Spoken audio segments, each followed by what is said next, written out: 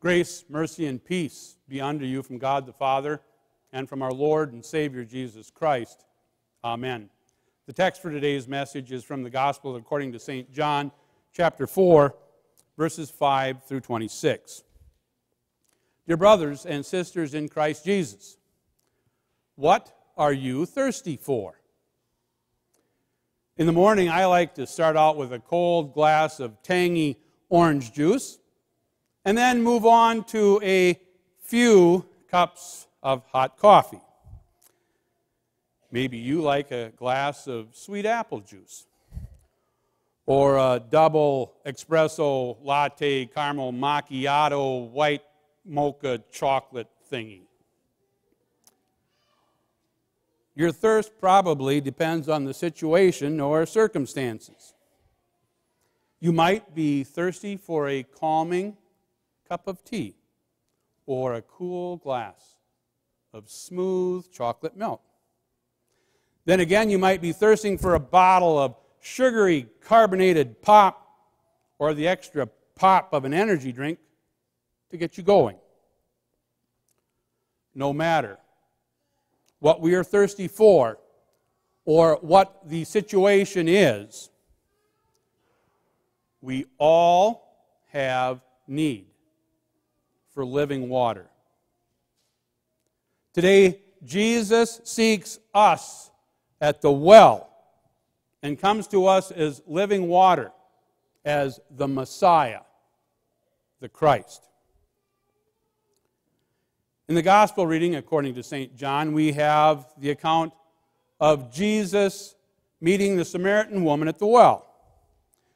We begin with Jesus traveling from Judea in the south to Galilee in the north, taking the most direct route through Samaria. A very non Jewish thing to do. The Jews and the Samaritans did not get along due to their differences. The Samaritans had intermarried with non Jews. They only accepted the five books of Moses, and they didn't worship in Jerusalem. The Samaritans were seen by the Jews as being outsiders of God's covenant people, the people of the promise we see Jesus as man, wearied from his journey, sitting beside the well. A woman of Samaria comes along to get water from the well, and Jesus does another non Jewish thing. Jesus speaks to the Samaritan woman requesting a drink. The woman responds, How is it that you, a Jew, ask for a drink from me, a woman of Samaria. The Samaritan woman knows Jesus only as a Jew. Jesus replies, If you knew the gift of God and who it is is saying to you, Give me a drink, you would have asked him, and he would have given you living water. The woman doesn't know or thirst for Jesus. But she does know the history of the people of Israel. She knows this is a deep well, and it was given by the great patriarch Jacob. Jacob, who wrestled with God. Jacob, whose name is changed to Israel. Jacob, who has 12 sons, which become the 12 tribes, the nation of Israel. Jesus responds Everyone who drinks of this water will be thirsty again. But whoever drinks of the water that I will give him will never be thirsty forever. The water I will give him will become in him a spring of water welling up to eternal life. as it happens often in Scripture. The Lord's words and meaning are not understood. Jesus seems to be talking past his listener. They seem to be disconnected in their communication, talking and thinking about two different topics physical thirst versus spiritual thirst. Jesus is speaking about himself as he is spiritual living water. He is eternal life. If you thirst for righteousness with God, if you, in despair, understand the need for and desire forgiveness of sins, if you are repentant of living a sin filled, self centered, prideful life, Jesus gives us Himself. Living water, forgiveness of sins, and eternal life. But the woman's response shows a different thought and understanding, a physical thirst. Sir, give me this water so that I will not be thirsty or have to come here to draw water. Why was the woman at the well at that time? Why was she the only one there? Was her thirst any different from the others?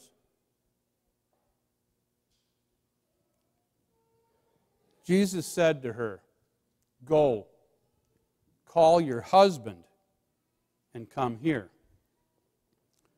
The woman answered him, I have no husband. Jesus said to her, You are right in saying, I have no husband, for you have had five husbands, and the one you now have is not your husband. What you have said is true.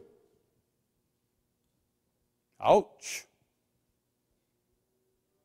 Jesus speaks the painful truth to the woman. Jesus hits her sin with God's law. She has had five husbands and is not married to the man she now has. Adultery. Maybe that answers the question about her trip to the well. We can all imagine what she is thirsty for, and it isn't water. Five husbands and not married to the current guy? What an awful woman. What an outcast. It is no wonder she's at the well by herself. Who would want to be around someone like that? To talk with someone with a reputation and lifestyle like that. I'm glad we're not like her. Oh, wait a minute. We may not have committed the identical sins as the woman at the well. But you and I are in the same sinful condition and need as she is. We might pretend that we aren't as bad as this woman, but remember who is calling her out on her sins. This is Christ Jesus the Lord, who is all knowing and always present. He knows all your sinful thoughts, your selfish desires, your evil thirsts. Just like the woman at the well. God Almighty knows what you and I sinfully thirst for, eagerly, daily, and nightly, whether we're alone or with others. we cannot hide our thirst for sin from God. You and I are no different than the Samaritan woman. Our trip to the well of sin, our thirsts are like hers. Do you and I understand who is seeking us out at the well and what he is offering to give us? The woman said to him, Sir, I perceive you are a prophet. After Jesus calls her out on her sin, on her thirst, the woman has moved on in her understanding of Jesus. She now knows that he is more than a Jewish man. He is a prophet of God, a spokesman for God who speaks what God says.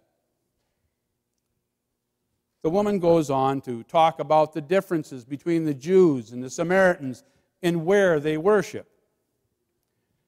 Is this a ploy to change the subject from her sins?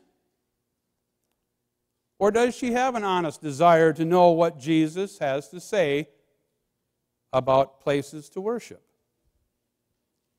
Jesus said to her, Woman, believe me, the hour is coming when neither on this mountain nor in Jerusalem will you worship the Father.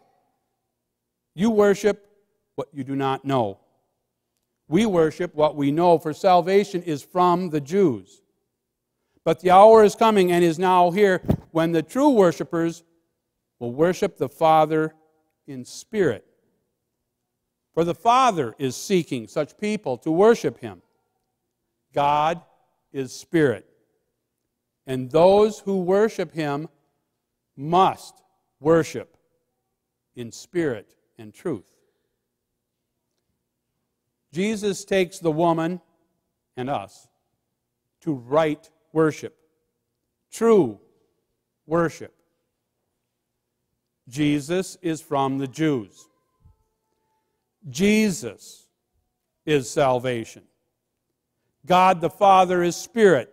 True worship is worship of the Father, the Son, and the Holy Spirit in truth and spirit.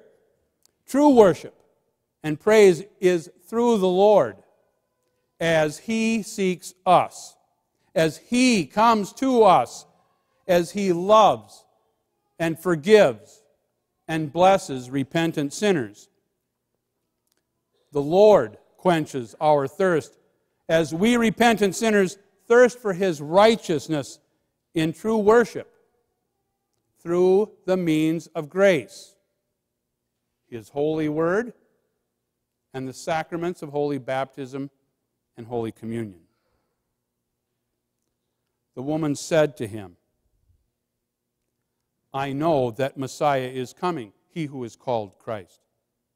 When he comes, he will tell us all things. Jesus said to her, I who speak to you am he.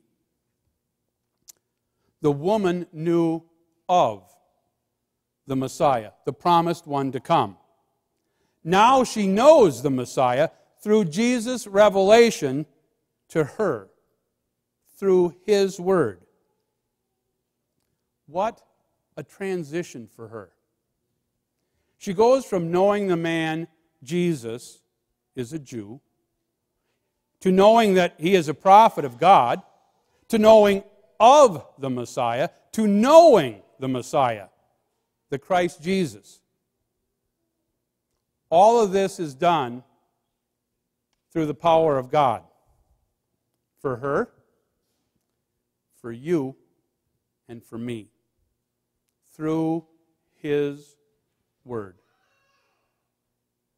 Through the Word, we hear that Jesus seeks us out as we sinners go to the well looking to quench our thirsts. Jesus, the Christ, gives us forgiveness and eternal life through his life, death, and resurrection. Do you remember how this thirsty woman at the well responds to God's word, his law, and his gospel? In the verses that follow today's reading, she goes and tells others, Come, see a man who told me all that I ever did. Can this be the Christ? She shares the word. The others hear Jesus, and many more believed because of his word. You and I have been given living water, the gospel of Jesus Christ, the forgiveness of sins, and life eternal. Let us be like the thirsty woman from Samaria and share the good news of Jesus with the thirsty world. So, what does this mean for us in our thirst? No matter what the situation or circumstance is, whether we thirst for sin in pride and arrogance and need to hear God's law, or if we thirst for righteousness with God in repentant despair and need to hear God's gospel. Jesus has sought us out and comes to us. Jesus has met us at the well and comes for us. Jesus knows us and our thirst. Jesus gives us the gift of forgiveness and eternal life through his blood, which was shed on the cross for all, flowing for all mankind. Jesus is the gift of God. Jesus gives himself for us so that we will never be thirsty forever.